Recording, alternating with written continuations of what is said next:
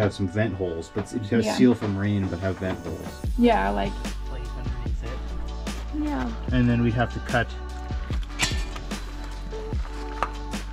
I mean, you're only opening it to fill it up and take it out and put it back in again. That's true.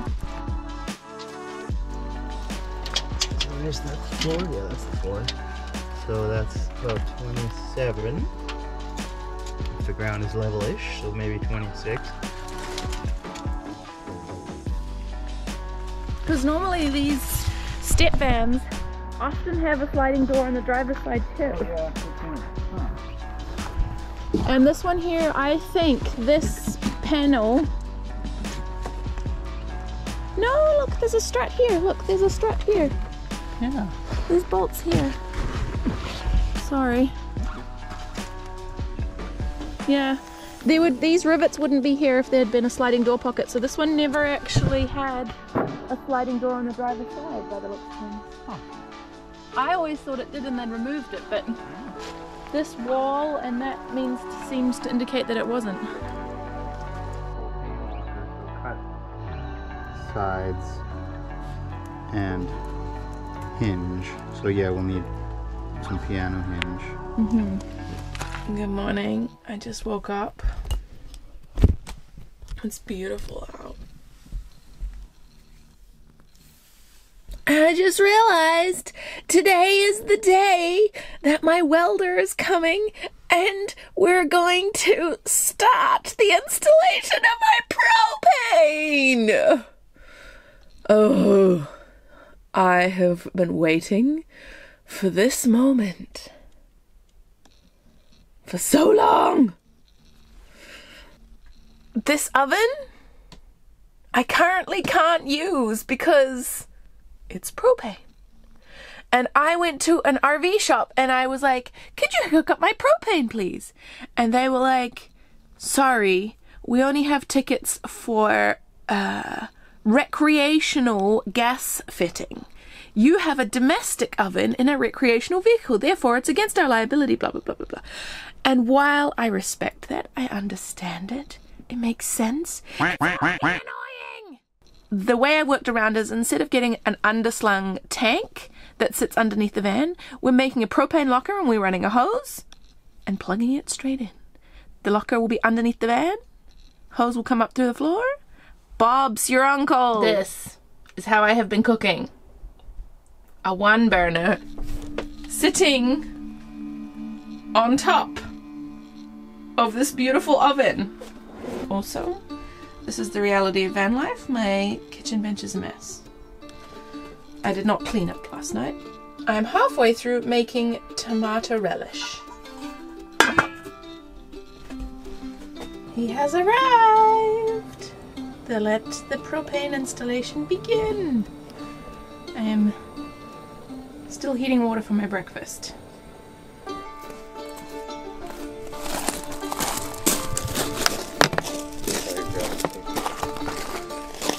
Yeah.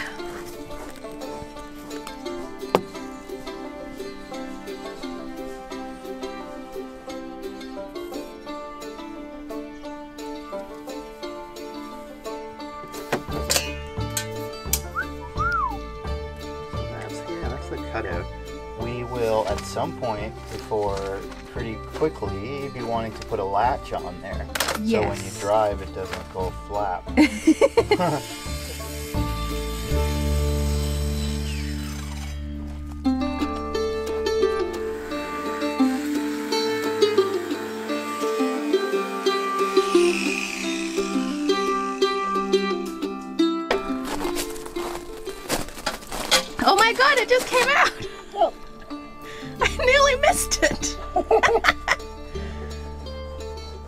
good. That worked out. That's what we were going for. Be right on where the members are. Oh, that's perfect. Right what we were going for. Okay. So we got Oh my some- gosh, there's a big hole in my van! oh my gosh! oh, that's perfection in measurements. Yeah, yeah. Well, we did we did the right amount of planning for a job, for a thing as important as cutting into your van. Oh, that's so good. And I'm glad that we left this piece here. Yeah, totally. That's a good solution. And it seems pretty sturdy. Like, it's not floppy. No. It's pretty good. It's really good.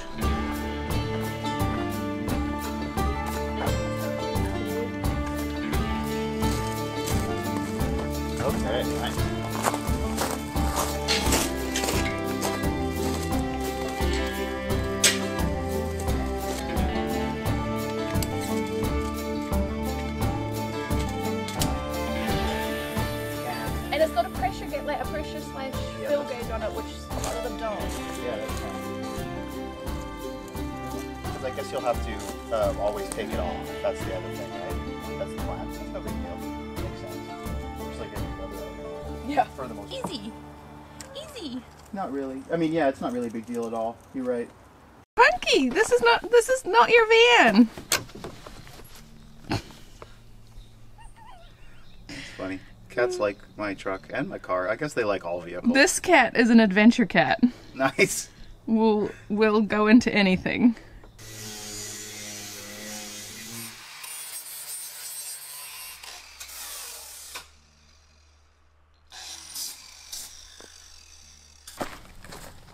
Little holes.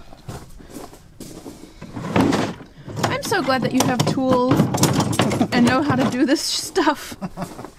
Yeah. Drilling, drilling and riveting. Deal. I think anytime you learn a new skill, there's such a steep learning curve that sometimes it's just worth, you know, paying a professional. Yeah, I guess if especially if yeah, that's true. If you want it to look really nice and you want uh, to not learn things, the, some things the hard way. Yeah, I learned enough things the hard way already, I think. Um, now that it's like off and I've been able to like look at it a bit, like when my hand's in the resting position, like the moth is like facing directly at me. Rivets are fucking magical. Yeah, they're pretty good. Just bam, like that. Yep. It's about the the drilling and the hole pattern is really the trick. Like, that's you're right. There's not a lot to it, for sure. Freaking amazing. Some strength. Yeah, that's true. With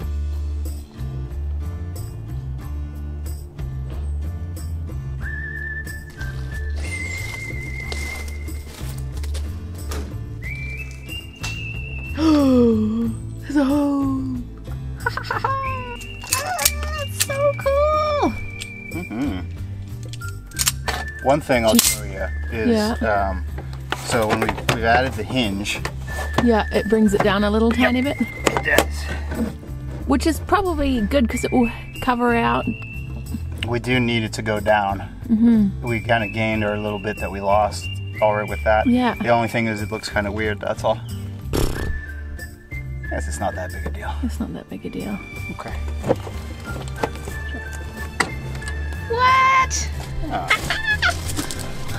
That was so fast and Well, that's the so easiest part. easy. Yeah. And now I'm going to look at. Um, Mounting the box. yeah. Well, I'm making the box. Making the box. But so I'm going to go. Um, I'm going to look over all my drawings and make sure I kind of have all the information, and then basically go and make Yeah. the pieces and think about how. Because they're just going to be bolted in. Perfect. And uh, yeah, I'll come back with a bunch of pieces.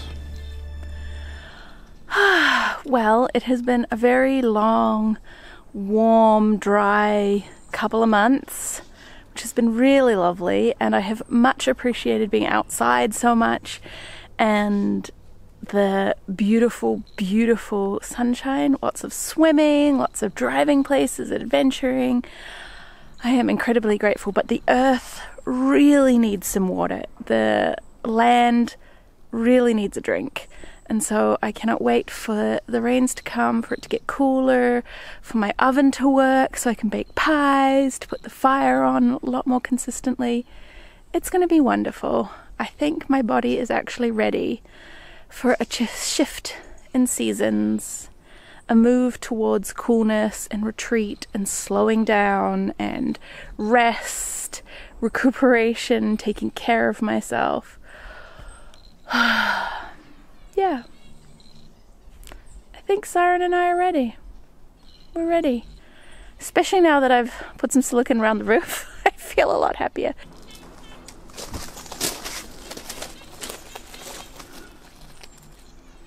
I need a wide angle lens. She's a thing of beauty.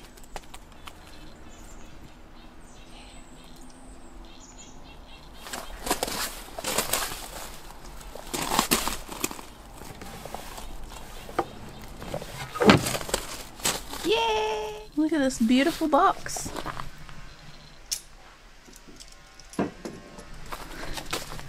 That's where my propane tank's gonna go. Huzzah! Put it in there? Yeah. Awesome. Good. I was gonna suggest maybe do that. Yay! It fits! Good. Look at that! This is a horizontally mounted propane tank, so it has the extra brackets and it has a gauge so you can see how full or empty it's gonna sit inside this, which is gonna sit over there. Oh, it looks so good! Not bad. Okay, so it's, the reason it's sitting proud is because of that little bit at That's the back corner. Confident it'll still fit. Well, the thing is, is I was hoping to do one here and one here, but uh, now so that's not gonna work. We have to do one. I guess so. Probably still plenty footprint strong. Yeah. So just think about that. Two would have been really great though. Oh, I'll show you. It's just a threaded rod. Oh, okay. Just a quarter inch threaded rod. So Come that all would the go. through. Yeah. That brackets it in. the strength of it all. Yeah. How about and is that the positioning of the tank, except for straighten it out a little bit? But Yeah, I mean, centered or there or. well, keep in mind that these they're going to be drop down bars here, right? Yeah. So centered in between the bars is probably easiest for you to get it in and out. Okay. And then I guess this hose will um, probably come around the front of the bar so that it doesn't have to curve so much. And Well, it's work. pretty flexible hose, so I think it yeah. would do. Well, no, like it'll work just the way it is. Only the bar will drop through Yeah. like that. Okay. Yeah. These are the support brackets to hold up the box. Huzzah! And this has gotten covered in leaves for a wee while.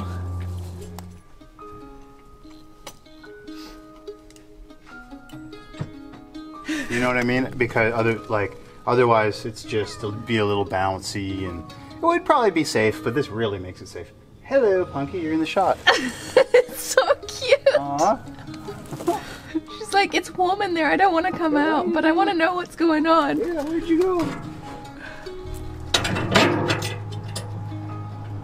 Get some nuts on those. You're supposed to stay in the shot, kitty. There it is. It's all locked in.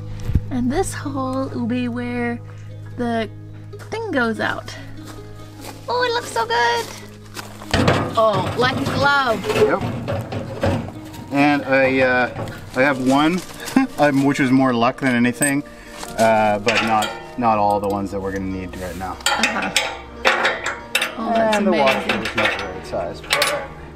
The other thing I might need your help with is drilling a hole through the floor where the pipe has to come up underneath the oven. Well, that makes sense. Yeah. Okay. This is the exciting bit. There's the door. Wow. Aren't rivets freaking magical? Oh yeah. Yeah. Do you want to do one? I mean, I don't mean to laugh. I just think you'll be like Rosie the Riveter. right? And then you just pump it? You you have to. Um, yeah, it can. It's all about that squeeze until it goes pop. I know. I know. I just thought that you might want to experience this. Yeah. yep, and then that should come out, just jiggle out, and your rivet is, should be just fine. That, that happens sometimes. And you can just use pliers. Yay! Wow, that was a lot more squeeze than I expected. Right? Can I do one more? You bet. I wasn't gonna force you. There you go. Yeah, do it from the whole thing. Okay, so then this goes this way? Mhm. No. You can do either. You can stick it in the material or the gun. Uh, but what's important is when you initiate the squeeze, Yeah. two things that the rivet is tight Yeah. here and that the tip is tight to the rivet, Okay. like that. And now, yeah, now just squeeze until it goes you can actually do it without doing that first, but it's even harder. Yeah. Without doing what first? Without um, sort of choking it up, like I was saying, like get get all the advantage you Oh. can. That is to say, get as close as get the tool as close Oh, to the rivet, and the rivet is close to the hole. Okay. But yeah, you're doing good. You got it.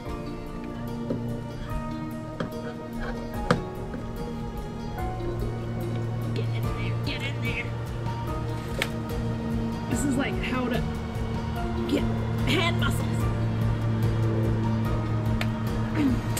Yep. Yep. Or carpal tunnel or something. Feel free to give up. You know, But you got your freaking normal.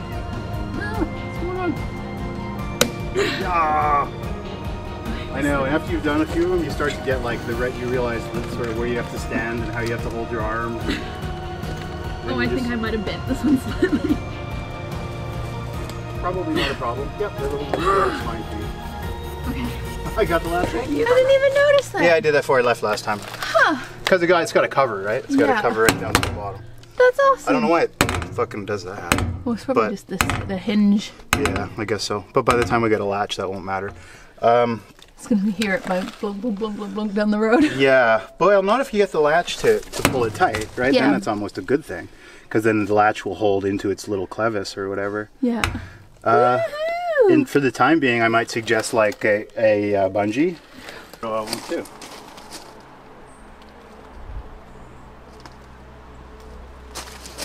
So strong, just the right shape we need it, all sealed up. Happy about that one. Yay, me too. Sure.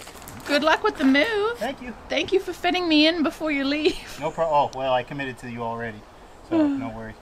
Uh, sort of Be enjoy, proud of it. enjoy it a little bit. Yeah, worked out good. Okay, better go. Bye. Thank you very much, Laura. Thanks. Oh, so pretty in the sunshine. Sunshine! Oh my god, it stopped raining for a hot minute. Finally, the day's come. I have my propane hose, propane tank that is set up to mount sideways, and my propane locker is ready. So let's disconnect, disconnect this hose.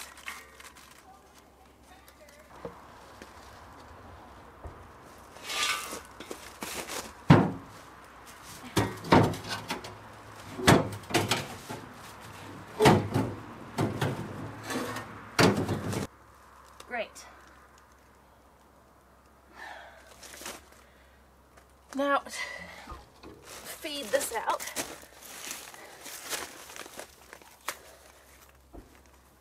But it requires some untangling. And then attach the regulator tank. Right, I'm gonna do that right now. It is time. I have to get this oven out drill a hole down the back here if I can to connect my propane. Oh, I'm so excited and so close, but this may or not move and it's I built everything around it, so Thank goodness this oven is even moving.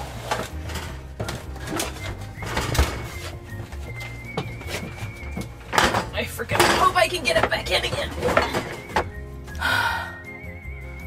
Oh my gosh.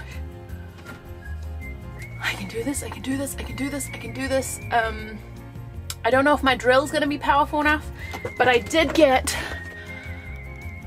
a brand new hole saw bit for my drill so that the bit is super sharp because it's wooden floor and then metal floor. And so this is uh, metal multi-material hole dozer tooth design for metal surfaces. So the trick is, is this battery drill to be strong enough? Because I might need a corded drill, in which case it's to have to wait. I don't know about you, but sometimes a job just seems so overwhelming that you just procrastinate. You do everything else but the thing that you're supposed to do because the thing that you're supposed to do feels too difficult. That is where I have been for like the past three weeks. And I've been promising you this video about my propane install and my beautiful oven that I really want to use. But I've been procrastinating. Procrastinating real hard. When you're doing stuff all by yourself, sometimes things just feel like a lot.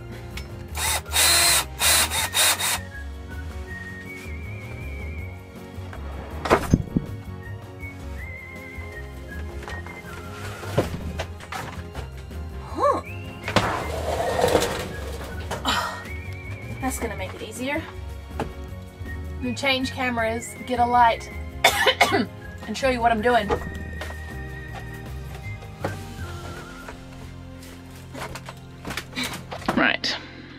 We have light. There's a hole already there, we're gonna drill another hole here, and I'll show you the back and underneath the oven so that we can get gas finally connected up here.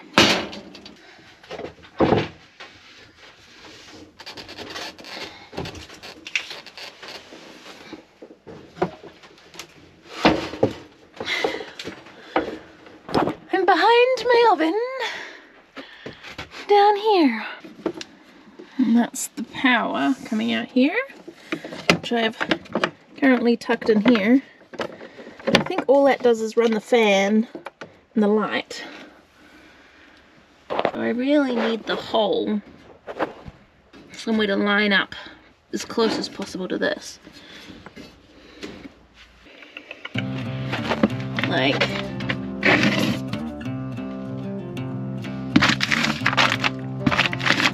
there.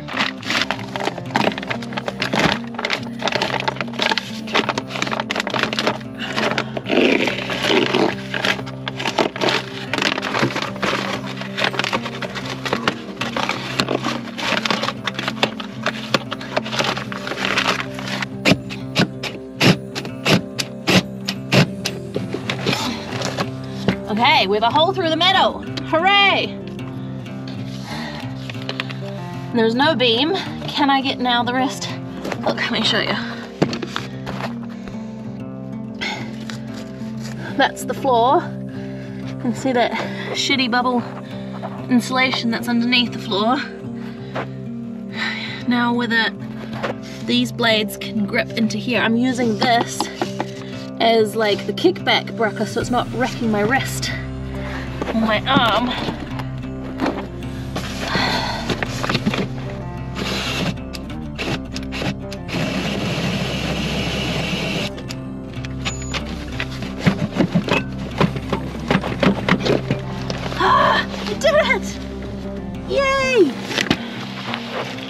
Very lucky. It's right under my water tank. Okay. So if I just have a look from underneath, the beam coast runs right through. I need to drill another hole about here, and hopefully that should better take out this piece.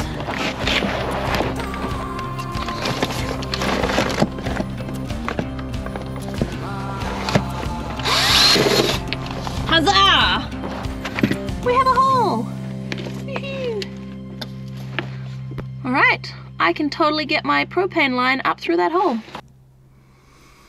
And now it is nighttime, and I'm still working on this. I'm gonna climb under the van in just a second, poke the hose up through the hole. The hole needs a really good filing, but I'm gonna do that tomorrow in the daylight, not right now.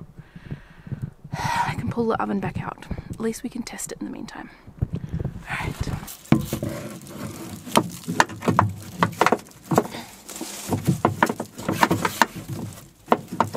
I'm gonna pull it in from the top.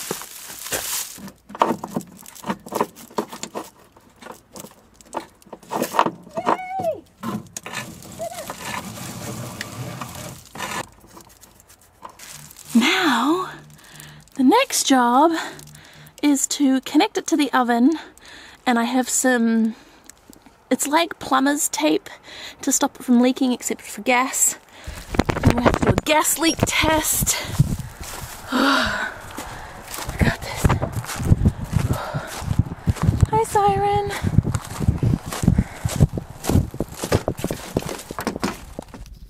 This is the stuff I'm gonna use to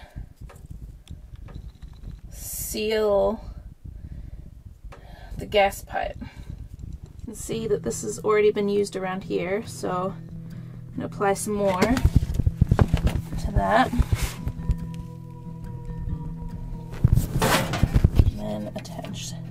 These two together. And hopefully it will work. Here's my joint. You can see that I've connected it. There's a lot of yellow tape in there.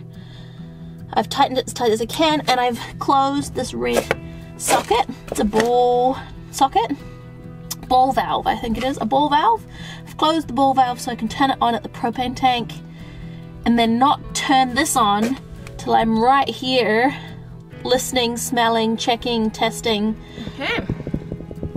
Here's the propane tank. There's the hole that the cable goes out of. And that's what it looks like. So, time to turn the tank on. And see how we go. Now, the tank is not screwed on. This is not a roadworthy setup because I also plan to put a casing around this entire pipe as it goes under the van and I need to go into town to go and buy that um, the next couple of days. But I really wanted to see if this would work. When I'm driving, I will completely just attach this hose and store it inside. It will not go under the, and actually the tank won't either because I don't have a proper latch. Right, turn it on. I am pushing that ball joint entirely outside so that any open joints for the propane will be outside, not inside. So I'm now going to push the oven all the way back and then I will be able to reach this outside and do whatever I need to do to make sure it's fully sealed. And I'll probably do that off camera because it's really dark and I'm tired and hungry.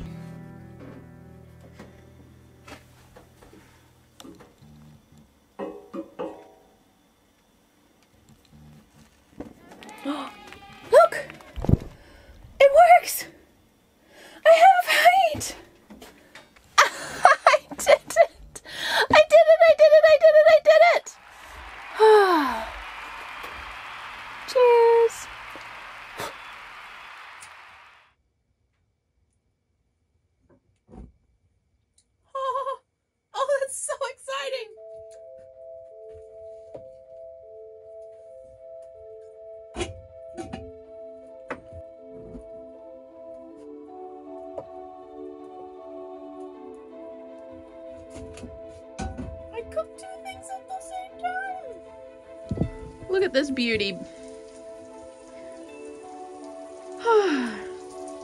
Thanks for being encouraging and supportive.